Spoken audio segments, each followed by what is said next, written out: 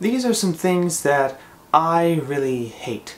It's a vlog, it's a vlog, it's a video vlog.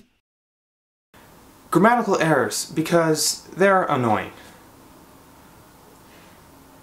The word haters. Haters is probably my least favorite word in the English language, and I really like words, so that's a big deal. First of all, just because I disagree with someone on something, or I don't like something that they've made, you know, doesn't mean that I hate them. Like, that's that's a big deal, hating so I don't hate you, I just don't like the thing you did, because I don't think it was good. Anytime anyone tries to lobby any kind of criticism against anyone for anything, they're just labeled a hater and ignored. But, you know, you can't, if you ignore criticism, then you don't know when you did a bad job or not, and you don't know how to improve. Like, maybe the reason you have more haters than you do fans is because you're just not that good. Like, that's something you should know. When people cover themselves in odorous things to try to cover up their already present odor. As if it's not enough to just neutralize your body odor, like people need to add other things to it. Obviously, you know, you should shower, you know, and have good hygiene and use antiperspirant and like deodorant, like that makes sense. But adding like cologne and like perfume and like odorous things too, it's like that's just creating a new problem. I don't know how some people breathe with this stuff on. Like, I can't breathe around half of the people in the world because they cover themselves in odorous things. Like, you know? Like, random girl I don't know, when I sit next to you in class, I don't want to smell copious amounts of coconut. Like, I don't need coconut shoved up my nose when I sit next to you. Like, coconut's not even a good smell. Who, who wants to smell like coconut? Not even that many people like coconut. Half the people I know are allergic to coconut. Like, coconut's not even... Even if it was a good smell, I don't want that much of it. Like, oh my god, it's like a meter around you. It's just like a cloud of coconut.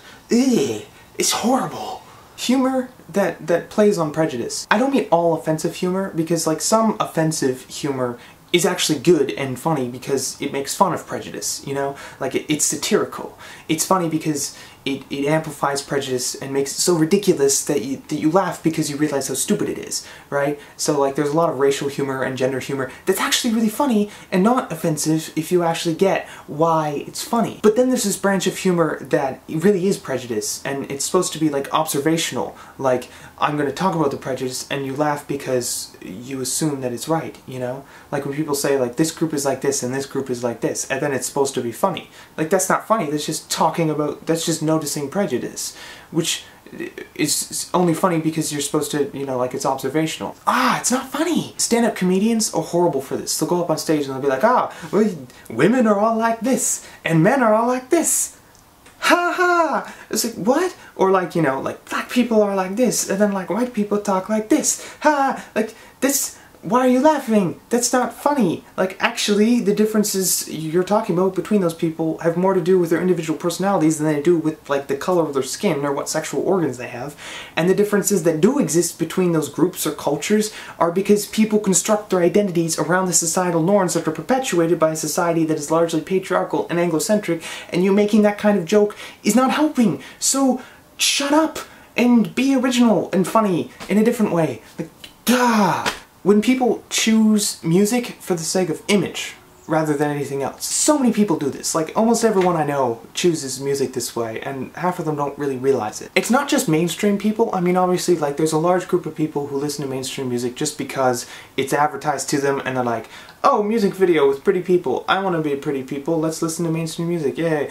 Or, like, whatever. But then there's, like, hipstery people who do the same thing, just listening to different music. They're like, you know, oh, I don't like this consumerist kind of whatever music, so I'm gonna listen to the weirdest, most indie thing possible. And, like, that's what the musician is doing. They're doing the same thing that the mainstream person is doing. The musician is like, I'm, you know, I'm gonna quarter myself off to this little bit of society and say I'm gonna reject that, so I'm gonna play the weirdest, most indie music ever and record it in the most lo-fi way possible so that indie hipsters will listen to me. It's like, what? You don't realize it's it's so hypocritical! The God!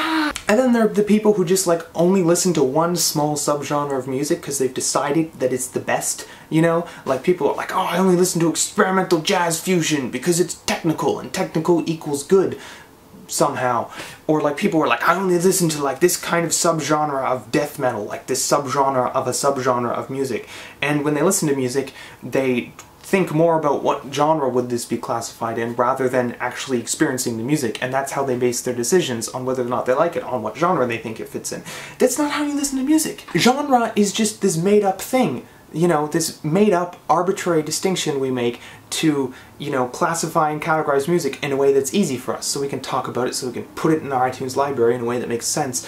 But it's not, has no correlation to the goodness of the music. Obviously people have certain tastes, you know, whatever, but you should like music because it's aesthetically pleasing to you, or because you emotionally connect to it, or because you just like the message it gives. Not because, you know, of the genre that it is. That has nothing to do with the music. It's only a comment on how it was made or in some way like what instruments were used, what, what it sounds like. But that's, like genre ends there. It's nothing to do with how good it is. It's art. When I make a video and I don't know how to end it.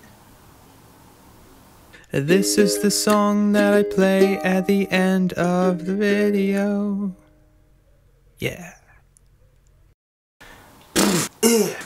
It's annoying.